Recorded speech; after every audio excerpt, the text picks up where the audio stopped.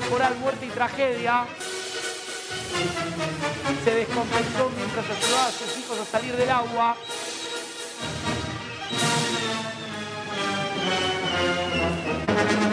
Y esta, Diego, es la cara más terrible del temporal. ¿Qué pasó, Rochi?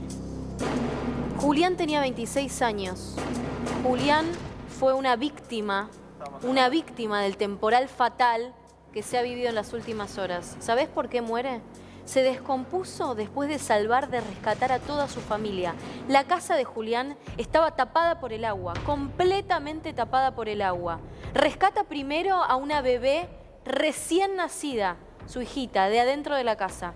Una vez que logra sacar a la bebé, al nene de tres años, ahí es cuando se desploma en el piso, cae tendido en el piso y estaba muerto.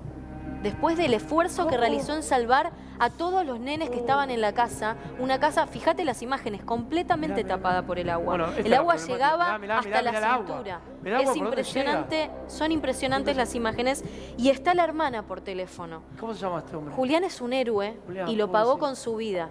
Hola, Cintia, querida, ¿cómo te va, mi amor? Hola, buenas tardes. Bueno, contanos un poquito. eh, la verdad, tu, tu hermano murió rescatando a sus hijos. ¿Es así?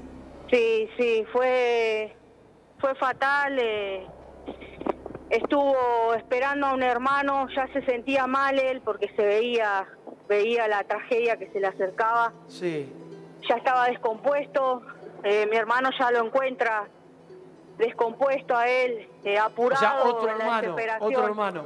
Sí, otro hermano. Ajá. que es el que es el que va y los ayuda en la evacuación, o sea, para salir. Y cuando él vuelve de vuelta, eh, ya se encuentra con, con mi cuñada, con el bebé, con lo- el bebé en brazo, porque él ya se, estaba descomponiendo y, y él ya en el piso, o sea, en medio del agua. A, a ver, pero pará, para reconstruir la situación. Tu hermano ve que los hijos están en peligro. Eh, Sí. pero la casa se está inundando, estamos viendo el agua, realmente le lleva por los hombros. Los rescata, Sí. los saca de... Sí, de- los rescata, los Un bebé saca, recién sacan a los nacido, chicos. ¿eh? Saca a los Un chicos bebé del recién nacido y una nena de tres, de- si no me equivoco. Muy chiquitos. Bien, y entonces, Y bueno, y de ahí eh, es cuando él se empieza a descomponer y, y- y le agarra, parece, no sabemos bien todavía.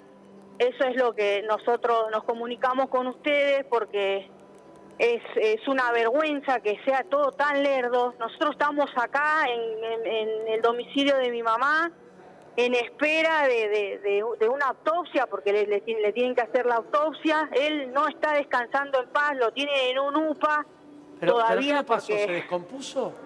¿O, o Sí, se- él se descompuso, él se descompone, eh, no se sabe bien si le agarra o un paro o a- eh, por la situación o, o- Por los nervios. no, o los nervios de querer salvar a sus hijos. de- Ahora, pero él los salva a los tres. Salva a Él los tres llega a salvarlo, él llega a sacar a toda la familia, lo lleva a un lugar más alto Claro. y el hermano lo encuentra y ahí es donde él va, eh, empieza a sacar a los chicos, se encuentra con, con- con la situación. Cuando mi hermano vuelve de vuelta, él ya estaba tirado en el agua, Sí. eh, lo, lo quiere dar vuelta y ya, ya es la tarde. ¿Qué pasó con el 911? Y el 911 tarda, tardó, tardó, no sé si me estaban comentando, alrededor de media hora. Eh, El 911, el personal policial trata de reanimar, de hacer la reanimación, pero ya era tarde. Eh, así que no, no, ya cuando él, mi hermano en la desesperación, eh, ayúdenme, ayúdenme, y ellos ya le, les avisaron que ya él ya estaba sin vida. Bien, bien. Eh, Alejito, tengo unos consejitos, Cintia, ahí seguimos con el relato. Ya está la doctora Ponce León, se viene en un... eh, Cintia, bancame un segundo, no me cortes, por favor, mi amor, ¿eh? No me cortes.